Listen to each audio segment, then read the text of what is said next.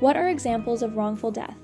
Wrongful death in California happens when an individual's death is directly caused by someone's negligence. The state's laws allow the deceased's dependents or heirs to file a lawsuit against those at fault.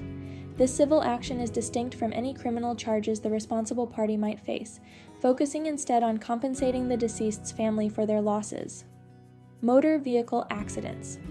Vehicle accidents are arguably the most common types of wrongful death.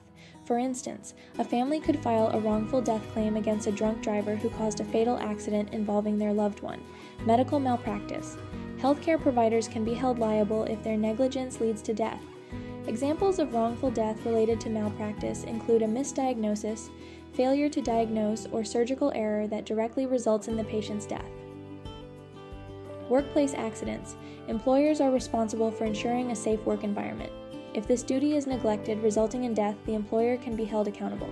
For example, if a construction worker dies from a fall due to lack of proper safety gear, or because the company cut corners, the employer could be sued for wrongful death. Product liability. Manufacturers and distributors can be liable if their defective products cause death. For instance, if an airbag fails to deploy during a car accident and the driver dies, the manufacturer of the product might be sued for wrongful death by the victim's family. Premises liability. Property owners have a duty to ensure their premises are safe. If a visitor dies due to unsafe conditions, such as a fall caused by a slippery floor that should have been cleaned or marked with warning signs, the property owner can be held responsible. In some cases, multiple parties may be held liable in a wrongful death. For instance, if a car accident is caused by both the driver's negligence and a faulty road design, both the driver and the government agency responsible for maintaining the road could be sued. Other wrongful death examples that may have multiple liable parties could be a construction accident.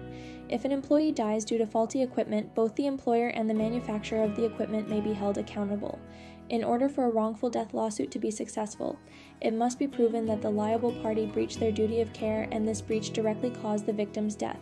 If you believe that your loved one's demise was caused by someone's wrongful act or negligence, consult with an experienced wrongful death attorney immediately.